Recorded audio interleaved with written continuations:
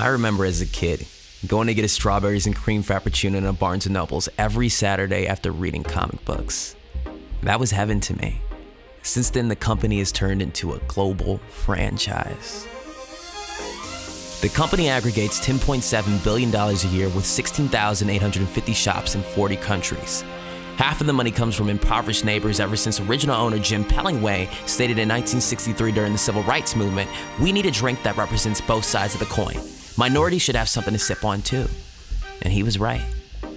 Since 1987, the company has added an average of two stores on a daily basis. Senior analyst Amy Streisinger stated, Yeah, we reproduce like Catholics. What I didn't know is that the reason Starbucks drinks can be pink is because of a small chemical known as antitrust. It's not harmful in small dosages, but the company does use it. Remember that. Santa Fe Springs, California has the highest concentration with 560 Starbucks stores within 25 miles. That same city has no sperm. Starbucks opened its first store in Beijing in 1999. However, not a single Chinese person has visited the store yet. Most of the locals think it's a mermaid shop. The average Starbucks customer will visit the franchise six times per month. 20% of their customers go 16 times per month. Analysts credit this to the crack cocaine in every Frappuccino. The reason that many Starbucks straws are green is because in 1981, the company knew about our planet's degradation, ergo climate change, and knew people would care a lot more if they were sucking on something green. More and more Filipinos and Puerto Ricans have been showing up to Starbucks in high percentages since the company publicly endorsed Manny Pacquiao in the 2007 congressional race in South Carolina. There are over 87,000 possible drink combinations at Starbucks, including their secret menu. A few popular items off the secret menu include the strawberry Winky Tootsie Pop stuffer, add a green mint chocolate stump plate with a chocolate dip lump stick onto a higher pepper velocity espresso, the Cotton Candy Crunch Frappuccino, add a blueberry whipped Frappuccino blend to a room temperature ice mocha raspberry sorbet, almond coconut honey bath collagen lip kit acai, or even the Beyonce, a plain black coffee with gold ice at the bottom.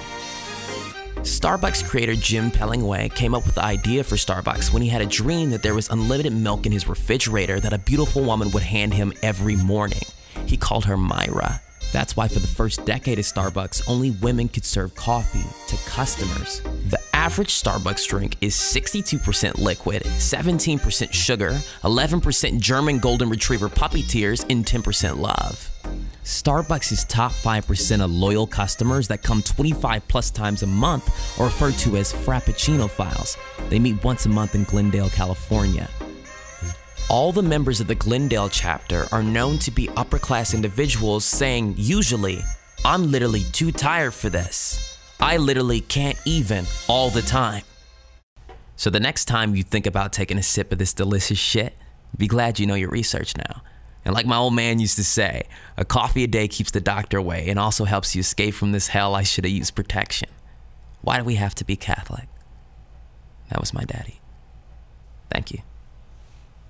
Oh wow, I get to choose which one I want? For sure, Charmander. Oh snap, it's right there. Look.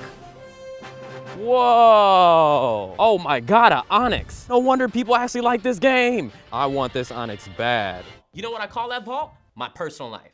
But some people like to bring that to the surface. So you know what a lot of content creators have been doing, starting with Nigahiga, is roasting yourself. A few people asked me to do it, so I did my best that I could do this morning.